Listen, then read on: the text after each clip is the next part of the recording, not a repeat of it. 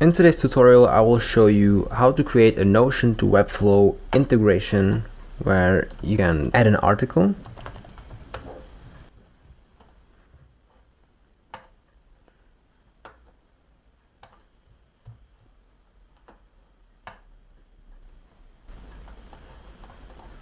This integration is also capable of editing articles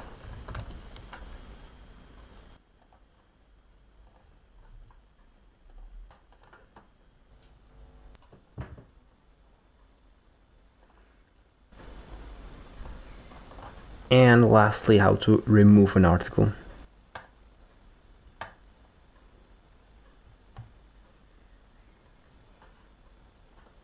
First of all, we need to create a Notion database where we will store our articles. For this I've made an empty workspace, so let's add a cat blog post, new database, and I will create a sample article with some heading, paragraph, list, and you know, call out, a call out, thank you. And I'll add a cover, so in a cat, perfect. Now we need to set up our properties. We'll fetch the articles based on the last edited time. That's why we will set up the last edited time here. And the second field will be the article summary that we can preview from the homepage. So let's name this one a summary. And this is an article summary. Wow, so our Notion page is ready. I'll just change the card preview to be page cover so that we see our kitty cat and we're done. Let's move into Webflow. So for that I will create a new site, blank, and it will be named a cat blog. I will be fast paced, so I'm sorry if that doesn't suit you, but if you're not familiar with Webflow, you should watch tutorials from Webflow. Let's get into, into it. Um, container add a class, add a collection list, and we don't have a collection list set up. So let's go to CMS collections and create one. I'll name this one posts and let's add in custom fields. We have name and a slug already. Now we will need an image. That will be our thumbnail image. Um, plain text field for the summary and a rich text field for the content. Let's create it and let's add in five sample items just so that we can see what we're creating. Let's connect our collection list here to the CMS collection we have just created and is already populated. Perfect. So this list, we want it to be a grid, three columns and 32 gap. Looks good. Some margin at the top. And um, let's populate the items. So I'll add a div block with the item and then we'll have an image, a heading and a text block. Now the text will be the article summary, the heading will be the article name, article name, now that's too big, so let's make this a heading too, and set the font size to 24, looks good, and the height to be 120%, that works. Now the image needs to be fetched from the collection as well, and that looks good. Now this item must be a link, so let's convert this to a link block and let's link it to the collection page. So that's the purple icon, current post. You can see that it messed up our styling, so let's set the color to black, the text decoration to none. To add a little effect, uh, on the hover state, I'll set the opacity to 70%. So right now, if I preview the page and I hover over the articles, you can see that it does this opacity effect. If I click it, nothing is here. Right now we're in the CMS collection pages post template. So let's set this up. We'll need a container. Let's name this one a post. Let's set the maximum width to, I don't know, like 600 pixels. I will just add some padding to the body. And inside the post, we will need image, which will fetch from item, from the collection item. Then we have a heading, that's the article name. Then we'll have some text, just to see when the article was created.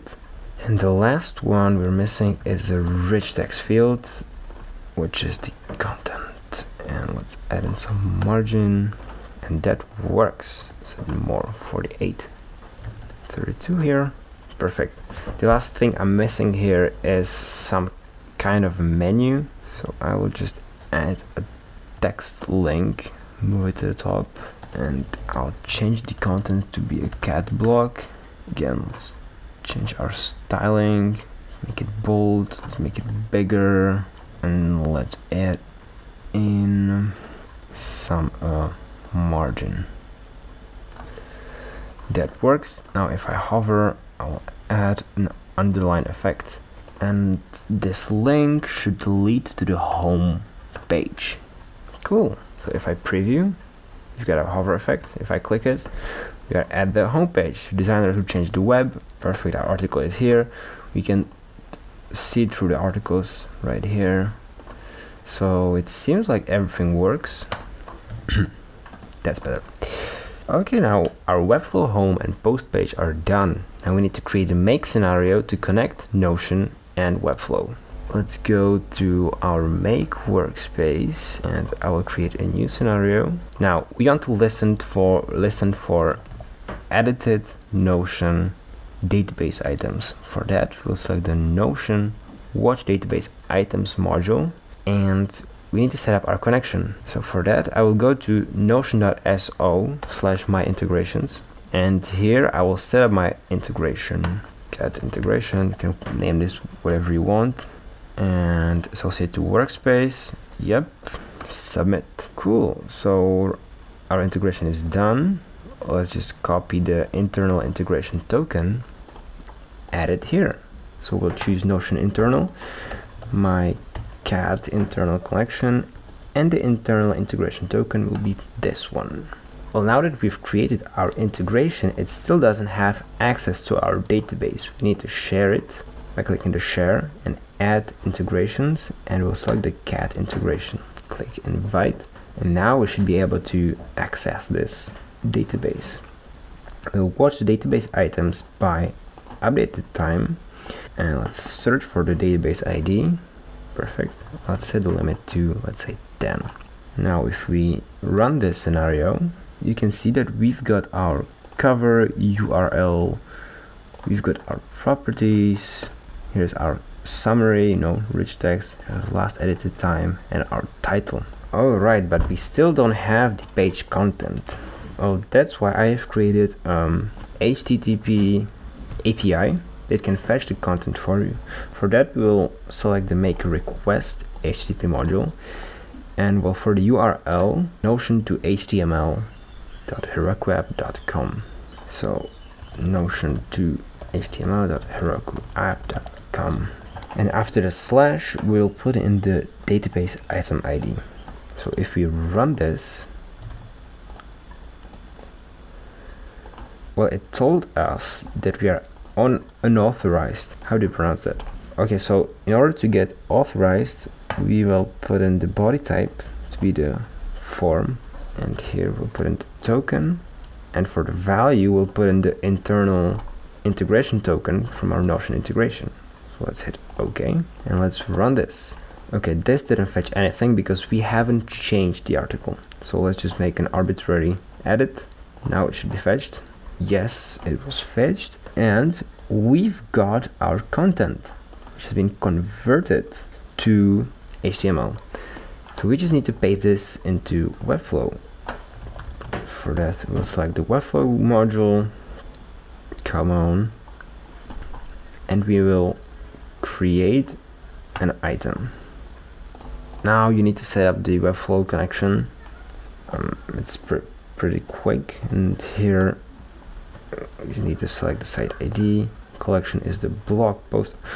Oh actually no I, I don't want this site. I want my cat I want my cat site hmm.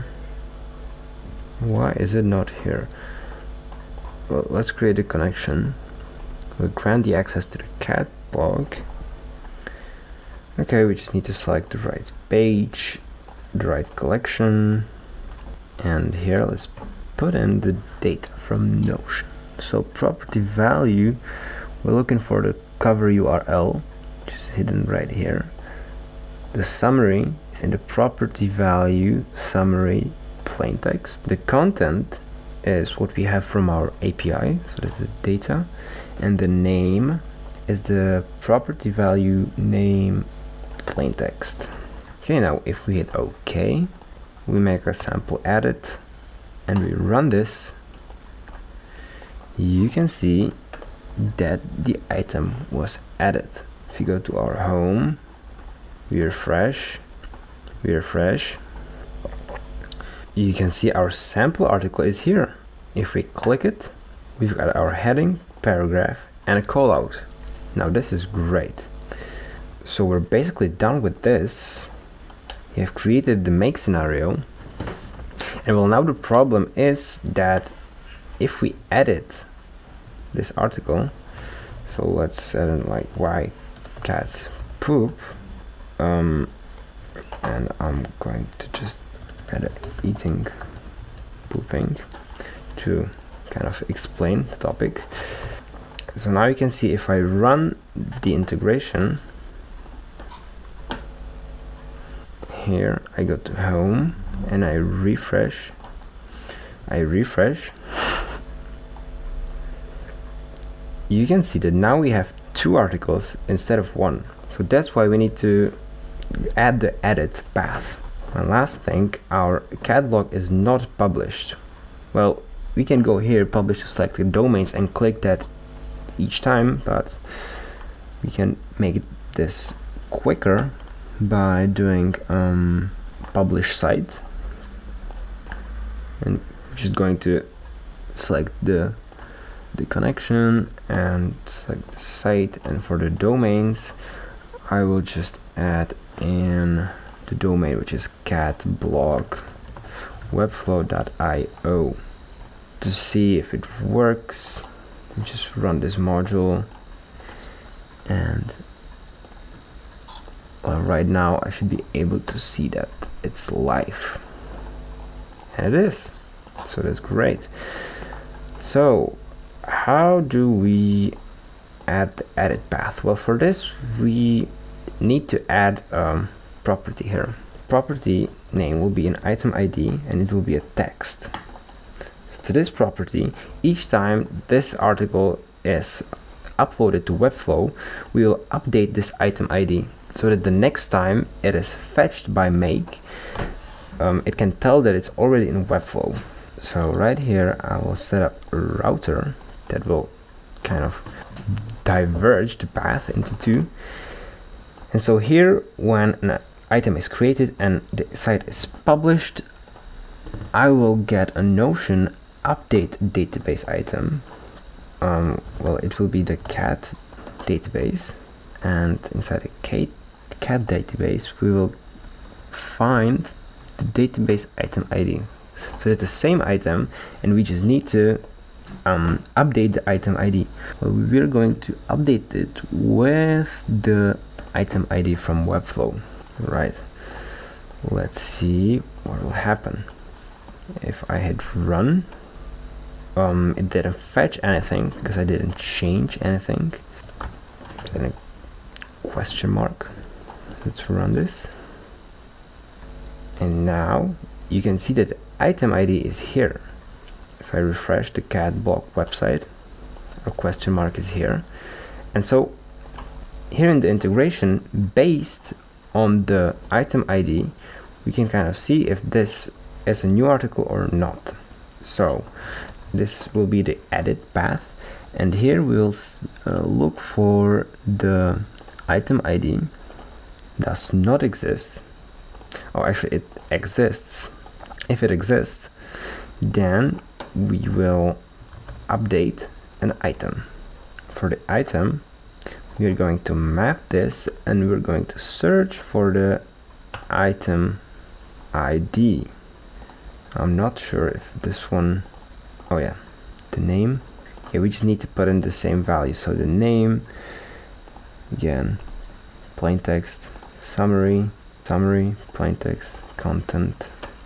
Mm, that well that's the data from the API and the thumbnail URL is the mm cover external URL so that's good. I'm just going to fetch this quickly to see if the item ID is yeah it's here. Okay so the item ID plain text. Sometimes when you don't see the right properties you just need to refetch the data and it will show the right thing. If hit OK, so after it updates an item, we want to publish this site. We need to update. Okay, so here we have our question mark. Now we have added an exclamation mark. If you run this, mm, you can see that it ran two times right now.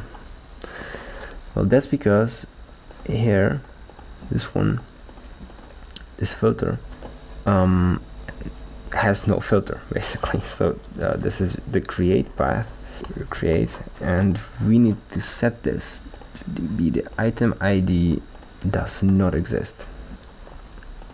Item ID exists, item ID does not exist. Right now it edited the old one and it added a new one. So to make this less cluttered, I will just delete all of these. Let's delete everything actually. So let's delete and publish.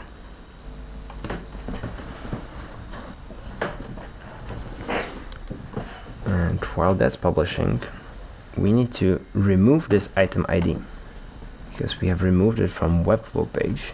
Uh, if we look at our blog, you see we have no items. So let's run the scenario. Our item ID is added. And here we have a problem. Missing value. Okay. This one needs to be um, item ID plain text.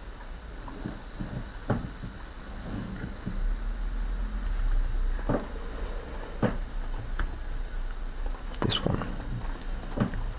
Now if you refresh our cat blog, you see that our article is here and our content is here. So that is great. Now we need to fix one error. I will show you just that the added path is working. I hit run I refresh I refresh come on Webflow okay why dogs poop it's there now we have two little bugs that you probably haven't noticed um, the problem here is that if I upload an image here let's see an image of my dog for example if I upload an image and I run this. Oh, come on. Fetching no items. So well, let's edit this. Run it. Well, here you can see that the sometimes the browser just decides to not up update the content. Well, now our name is updated why poop, but the image is not there that is because if we upload an image it is stored in a different place um, so here I will just add a variable because right now if we look to the properties and the properties cover sorry the cover. It is now stored in a file URL and the Webflow here is looking for external you know external URL so we just need to add a module that mm, will be named set variable. And here we're going to call this a thumbnail URL we just need to put in a simple if statement and that is if file URL exists exists put in the file URL. If it does not, put in the external URL. That's it. Here, instead of the external URL, we will set in the variable. Okay. Here we'll set in the variable as well. Um, here. And so that now should work if I do another update. One, two, three. And we run this. We refresh the page multiple times. Thank you. Our image is now updated. Another little bug that's here. So if we go to our collection and we remove an item, what will now happen with the integration, let me just do a quick edit. So right now, um, make found the item ID here, but when it searched for the article, it threw an error. And that's a problem. If you have multiple articles that you want to upload and make fails, it will just cancel the, the whole process. That's why we'll add an error handler. They will just say if that happens, just ignore it. Now we don't want to ignore this altogether. So what we're going to do is we will whenever it encounters this error, we will just remove this item ID. So for that, I will just clone this module and I will put it before the ignore error handler. And instead of the item ID, I will just put in a special value that's under the general functions and the name is I don't know how to pronounce that one, sorry. So I'll just make an edit, run this, and you can see that now that it encountered this error, it passed it to the Notion module, and now it is empty. If I run it again, run, you can see that now that the item ID does not exist anymore, it has created a new item, and it's here. Well, the last thing we are missing is remove path. How do we determine if an article is to be removed or not? Well, we will need a property for that. So let's add in, say, um, checkbox, publish property. And so right now, if this will be checked, it should be put in to be live. And if it's not checked, it should be removed. So right here, we will add a third path where we will remove an item or delete an item mm, it's the cat block side it's the post collection and well the item we don't want to select anything from the drop down so we need to now switch it to manual. Now our collection ID is filled in and the item ID is well the item ID that is stored in here. The item ID uh, well it's actually the same that's here. The item ID plain text so I will just copy this paste it here. And what should be the filter here? Well the filter is the um, the filter is well we need to search for the property published but we can see it here so we need to run this module. And now we can cannot still see the properties value. So let's just update this. Let's run it again. And we've got our publish property. So where publish is equal to false we should remove it. Now after we remove an item we want to publish the site. Let's align it. And here we, we need to add some additional rules. Because we want to edit and we want to create an article only if the publish is equal to true. So that's for the for the create path and here for the edit path so publish equal to true. Okay. Well, right now we have set the publish to false. I would just now added another article. Why are cats cute? Added another unsplash thing with a cute kitty cat mm.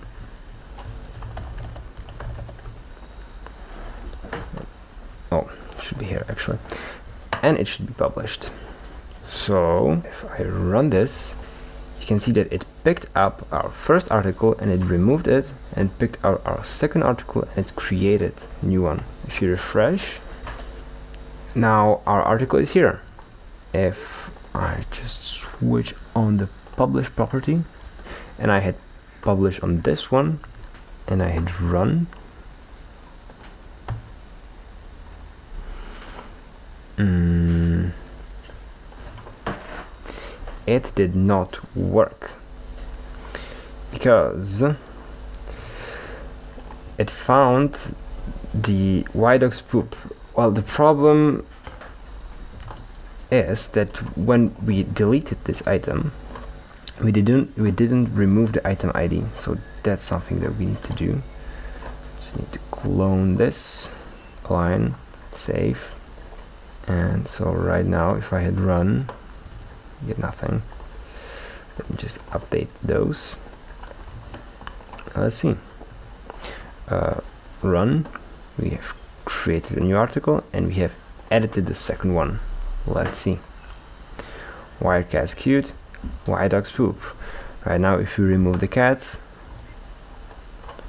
so right now it did remove the item ID and you can see that it's gone. The last tweak I will do in this part is I will just add the same error handler to the delete an item for the same reasons. If it doesn't find this item ID uh, we don't want this entire process to shut down. So I will just add an error handler ignore and I will add in the same module. Bam. Cool. So we are done. And in the next part I will show you how to improve content to give you a quick showcase. If I put in styling showcase um, let's put in a random thumbnail. You know here I have some just random stuff and I hit publish. Let's run it great. And here if I take a look at a styling showcase you can see that it you know looks pretty ugly. The images are squashed. Callout callouts doesn't work. Toggles are ugly. Um, and you know it's not great. So we'll improve this and we'll make it so that it looks like this. Um, so that we have you know fancy images codes with a copy button. The images are centered and we even have a Disqus comment block gifs. There is a lot more to cover. So you can look at my finished block here to see what is possible. I even added the dark dark mode. And yep. So see you in the part two